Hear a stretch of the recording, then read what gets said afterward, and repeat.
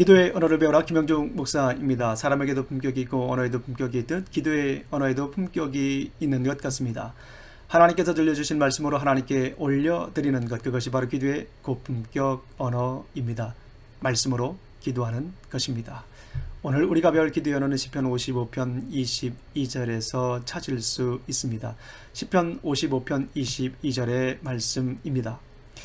내 짐을 여호와께 맡기라 그가 너를 붙드시고 의인의 요동함을 영원히 허락하지 아니하시리로다. 아멘.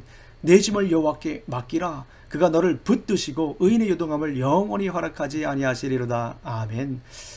이 말씀을 가지고 기도문을 만들어 보았습니다. 주님, 나의 짐을 주님께 맡기오니 나를 붙들어 주소서. 아멘. 주님, 나의 짐을 주님께 맡기오니 나를 붙들어 주소서. 이 나이다가 우리 성도님들의 성함과 가정과 교회와 나라를 넣어 주님께 올려 드리겠습니다. 자, 준비되셨죠? 기도하시겠습니다. 주님, 형중이의 짐을 주님께 맡기오니 형중이를 붙들어 주소서. 우리 가정입니다. 주님, 우리 가정의 짐을 주님께 맡기오니 우리 가정을 붙들어 주소서. 아멘. 교회입니다. 주님, 우리 교회의 짐을 주님께 맡기오니 우리 교회를 붙들어 주소서 아멘 우리 나라입니다 주님 우리 나라의 짐을 주님께 맡기오니 우리 나라를 붙들어 주소서 아멘 한 줄 기도입니다. 한 문장 기도입니다. 그러나 강력한 기도가 될 줄로 믿습니다. 오늘도 이 말씀이 우리의 삶을 장악하시기를 간절히 소망합니다. 오늘도 이 말씀이 우리의 삶의 향기가 되시기를 간절히 소망합니다. 오늘도 이 말씀이 우리의 일상이 되시기를 간절히 소망합니다. 아이들이 성장하니까 좋은 점이 한두 가지가 아닙니다. 그 중에 하나가 아이들에게 짐을 맡길 수 있다라는 것입니다.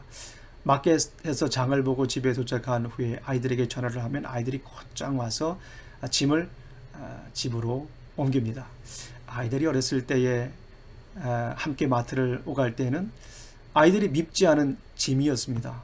그러나 이제는 아이들에게 크고, 자, 크고 작은 짐을 맡길 수 있으니까 짐을 덜어내는 호사를 누릴 수 있습니다. 다윗의 삶은 무거운 짐으로 구달팠습니다.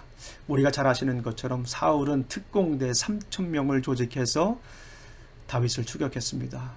우리를 미워하는 사람은 한두 사람만 있어도 우리의 삶은 버거워질 수 있는데 3천 명이나 되는 그것도 훈련받은 특공대를 조직하여서 그를 쫓아다니니 얼마나 힘들었겠습니까?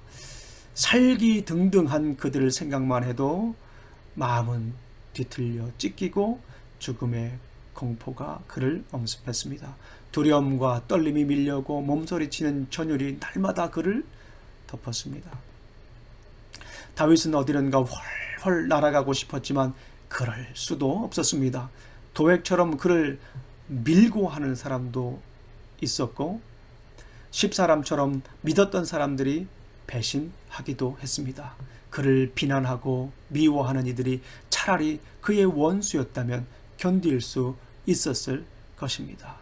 그를 비난하는 이들은 두터운 우정을 나누며 하나님의 집을 드나들었던 사람들이었습니다. 그러나 다윗은 그들을 원망하기보다는 삶의 무거운 짐을 주님께 들고 갔습니다. 삶의 버거운 짐을 감당하기 힘든 짐을 주님께 들고 나아갔습니다. 그리고 주님께 맡겼습니다. 다윗은 주님께서 그의 사람을 끝까지 붙들어 주신다는 믿음이 있었기 때문입니다. 끝까지 붙들어 주신다는 믿음이 있었습니다. 다윗은 그래서 주님께 기도를 드렸습니다. 주님, 나의 짐을 주님께 맡기오니 나를 붙들어 주시옵소서. 주님, 나의 짐을 주님께 맡겨오니 나를 붙들어 주소서. 아멘. 우리 사랑하는 성도님들, 무거운 짐을 홀로 지고 있지는 않으십니까? 감당하기 버거운 짐을 지고 있지는 않으십니까? 짐 때문에 말 못할 고통의 날들입니까? 짐 때문에 삶에 집중할 수 없습니까? 우리 사랑하는 성도님들 그 짐을 주님께 맡기십시오. 그 짐을 주님께 내려놓으십시오. 모든 시험 무거운 짐을 주님께 아뢰면 주님은 돌아보시고 구원해 주시는 줄로 믿습니다. 환란을 주님께 아뢰면 주님은 넓으신 사랑을 베푸시는 줄로 믿습니다. 짐이 점점 무거워질 때 주 예수께 아뢰면 주님은 대신 짐을 져 주십니다. 마음의 시험과 무서운 짐을 주 예수 앞에 아뢰면 주님은 세상 이길 힘을 주십니다. 우리 주님께서 말씀하셨습니다. 수고하고 무거운 짐진 자들아 다 내게로 오라 내가 쉬게 하리라 라고 말씀을 하셨습니다. 우리 주님께 아뢰십시오. 우리 주님께 나아가셔서 아뢰십시오. 우리 주님께서 들어주십니다. 우리의 짐을 주님께 가져가십시오. 그리고 그 짐보따리를 풀어놓으십시오. 주님께 드리십시오. 주님께서 해결해 주실 줄로 믿습니다.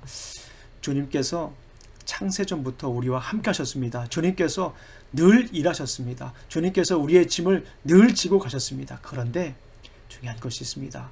우리가 주님께 아랠 때, 우리가 주님께 고백할 때, 우리가 주님께 기도할 때 주님께서 우리를 위해 일하시는 것이 보입니다.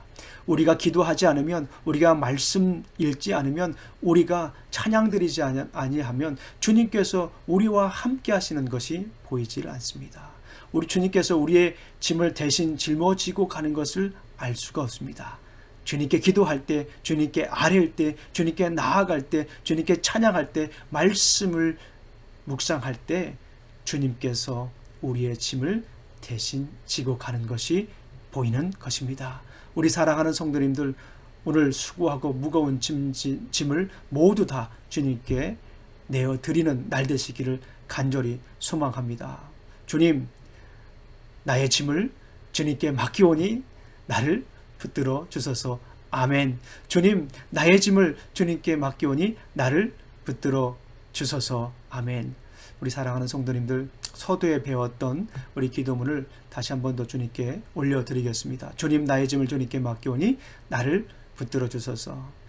주님 형중의 짐을 주님께 맡기오니 형중이를 붙들어 주소서. 아멘. 주님 우리 가정의 짐을 주님께 맡기오니 우리 가정을 붙들어 주소서. 주님 우리 교회의 짐을 주님께 맡기오니 우리 교회의 짐을 붙들어 주소서. 주님 우리 나라의 짐을 주님께 맡기오니 우리 나라를 붙들어 주소서. 아멘. 너희 염려를 다 주님께 맡기라. 이는 그가 너희를 돌보심이라. 아멘. 기도하시겠습니다. 하나님 아버지 참으로 감사합니다. 오늘도 귀한 날 주셔서 아버지 하나님 주님의 음성을 듣게 하시니 감사합니다. 주님의 그 음성을 듣고 주님의 말씀으로 주님께 기도를 올려 드렸습니다. 주님 우리의 짐을 주님께 맡깁니다. 우리를 붙들어 주시옵소서. 아멘. 예수님 이름으로 기도합니다. 아멘.